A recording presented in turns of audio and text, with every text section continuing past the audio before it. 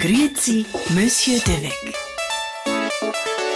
Der SRG-Generaldirektor beantwortet Publikumsfragen.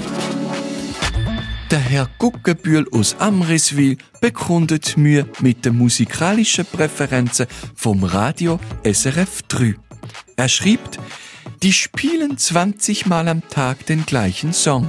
Ich halte das im Kopf nicht aus. Ich muss Ihnen sagen, lieber Herr Guckenbühl, das ist technisch gar nicht möglich.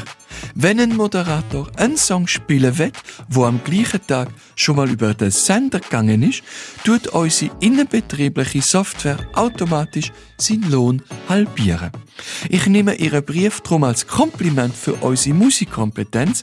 Ihnen hat das Lied offenbar so gut gefallen, dass Sie es an dem Tag noch 20 Mal vor sich hergesummt haben. Unsere Fachleute reden in so einem Fall von einem Titanolabis colossa, auf Deutsch ein Ohrenwurm. Zum den wieder loswerden, schaltet sie um auf ein beliebiges Lokalradio und lernt sich vom Moderator seinem Geplapper den Gehörhang gründlich durchspülen.